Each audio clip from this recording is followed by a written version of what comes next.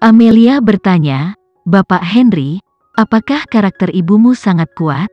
Amelia masih ingat terakhir kali Henry memberitahunya bahwa ibunya menggunakan pisau untuk mengeluarkan bayinya. Fitur wajah tampan Henry perlahan menjadi lembut, dan dia berbisik, tidak, ibuku sangat lembut, dengan kepribadian yang lembut. Dia tidak punya banyak teman sebelum dia hidup. Dia selalu hidup untuk Hana selama sisa hidupnya. Oh, Amelia sengaja meninggikan suaranya, sedikit cemburu, apakah kamu ingat pengantin kecilmu? Amelia menatapnya sehingga detak jantungnya dan tubuh langsingnya bergetar. Gambar ini sepertinya kembali ke masa ketika Henry pertama kali melihat Amelia 20 tahun lalu. Saat itu, Amelia masih bayi, dua wanita legendaris, Dewi dan Andin. Berdiri di kamar Gillian yang lembut dan Dewi menawan dan cerdas, tidak ternoda debu, dia tidak tahu apa yang dia katakan dengan riang, dan perlahan alis Andin yang memukau dan sedih meluap dengan senyuman. Henry berdiri di dekat Andin dengan lembut berjalan dan membelai kepalanya. Anak kecil, akankah dia menjadi pengantin kecilmu di masa depan? Amelia memandangnya dengan kesal dengan mata besar terbuka, tangan kecilnya mengoceh dan melambai menarik dengan erat dan tidak mau melepaskannya. Amelia menyeringai, mulutnya masih belum bergigi, wajah tampan Henry tiba-tiba memerah, dan dia kembali ke kamarnya. Andin tersenyum lembut, ini pertama kalinya aku melihat anakku tersipu. Masa lalu sangat jelas, tetapi Henry tidak tahu bahwa gadis di bawahnya adalah pengantin kecilnya saat itu. Amelia bahkan tidak menyadarinya. Dia memandangnya dengan provokatif, pengantin kecilmu menyeretmu seperti ini, Tuan Henry, mengapa kamu tidak berterima kasih padaku karena telah membantumu menghidupkan kembali impian lamamu? Henry menemukan bahwa dia suka cemburu ketika dia menyebutkan pengantin perempuan kecil, tetapi dia sangat menyukai wanita yang cemburu. Nyonya Amelia badanmu gatal lagi kan? Henry bertanya. Amelia melepaskan tangannya mendorongnya menjauh, dan mencoba melarikan diri. Tuan Henry, jangan main-main. Henry meraih pergelangan kakinya yang ramping dan menarik punggungnya. Mereka berdua berguling di tempat tidur untuk sementara waktu, dan tempat tidur kayu sudah mengeluarkan suara. Amelia membeku dan berhenti bergerak dengan cepat. Dia lupa bahwa ini adalah asrama. Efek suara tidak bagus tetangga sebelah pasti salah paham. Amelia memukulnya dengan keras dan berbisik, Aku menyalahkanmu, kamu tidak perlu bekerja di sini, tapi aku tidak bisa melihat orang melihat ke bawah. Bagaimana aku akan menghadapi orang di masa depan? Henry menjawab, apa yang kamu takutkan, Nyonya Mahendra? Tidakkah ada yang tahu bahwa pria di kamarmu adalah aku? Amelia tidak ingin berbicara dengan pria yang tidak tahu malu ini. Dia mengubah topik pembicaraan. Lalu ada apa dengan bibimu? Kenapa dia tidak menyukaimu?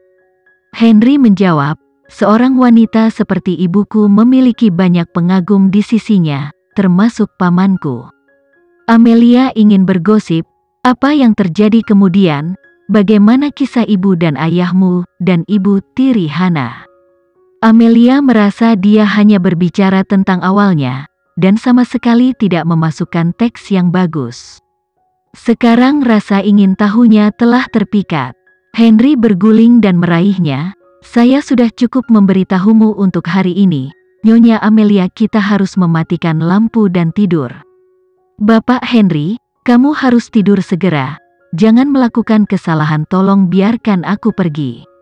Henry mendarat di bibir berlian halusnya dan berkata, Nyonya Amelia, jangan bicara, mereka akan mendengarnya.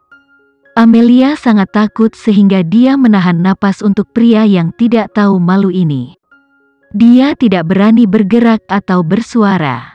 Dia hanya bisa menatapnya. Henry berkata dengan suara serak, biarkan aku melihatmu. Sayang, Amelia dengan cepat menutup matanya, bahwa dia benar-benar bisa bermain. Dua hari kemudian, Bella menyerahkan kotak hadiah kepada Amelia dan berkata, ini untukmu. Amelia melihatnya, dan itu adalah kotak hadiah yang dikirim oleh Lisa.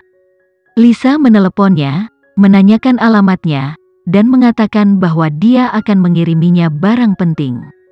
Amelia tidak ingin Lisa tahu bahwa dia ada di Dewan Penasihat sekarang, jadi dia meminjam alamat Bella. Memikirkan Lisa mengirim barang begitu cepat. Amelia, ada apa di dalam?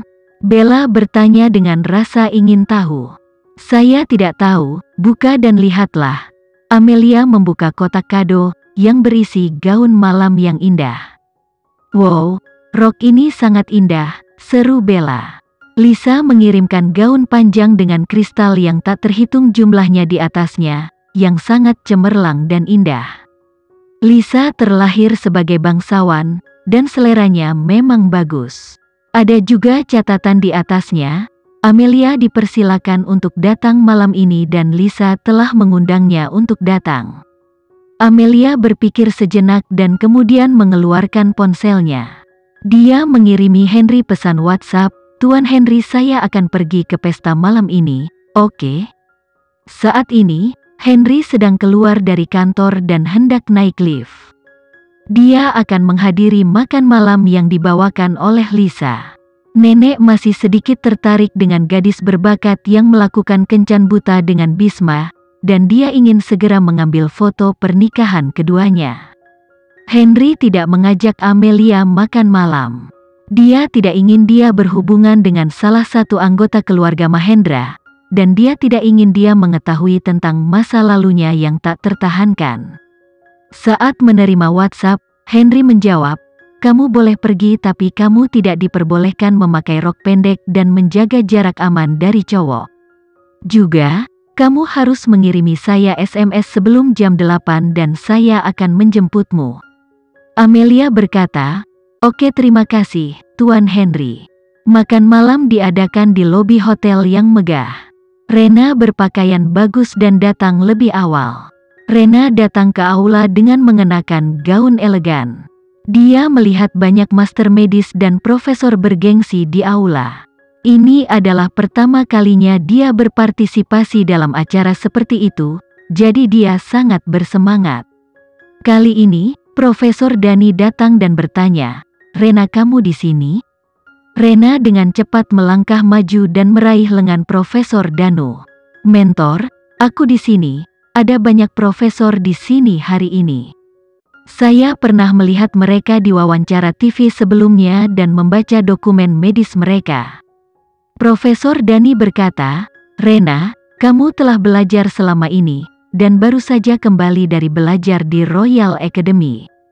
Kamu tidak memiliki kontak apa pun di dunia medis. Saya membawamu ke pesta kali ini hanya untuk memperkenalkan lebih banyak orang kepadamu. Ketahuilah, yang paling penting adalah kamu akan menjadi seorang guru. Jantung Rena melonjak. Iya, dia akan menjadi seorang guru.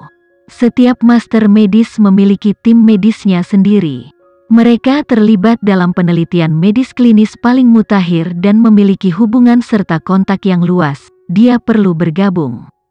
Profesor Danu melihat sekeliling, akademisi Wibowo dari lembaga penelitianmu belum kembali?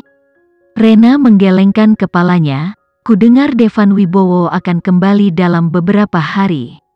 Sayang sekali Profesor Dani, hanya ada segelintir akademisi yang sangat dihormati di bidang medis. Wibowo jelas salah satunya, dia memiliki hubungan yang sangat erat dengan ibu kota kekaisaran. Semua orang di sini tidak lebih baik dari dia. Pergilah ke Akademi Cian, jika kamu bisa memenangkannya sebagai guru, dia pasti akan membawamu ke ibu kota Makassar, yang merupakan pusat dunia medis. Jantung Rena berdebar-debar dan dia menunjukkan kerinduannya. Guru, saya ingin Devan Wibowo sebagai guru, jadi itulah mengapa saya masuk Dewan Penasihat. Sekarang Devan Wibowo belum kembali, saya tidak yakin. Bagaimanapun juga, Wibowo tidak memiliki murid yang tertutup, dia memiliki penglihatan yang terlalu tinggi, dan dia belum melihat saya.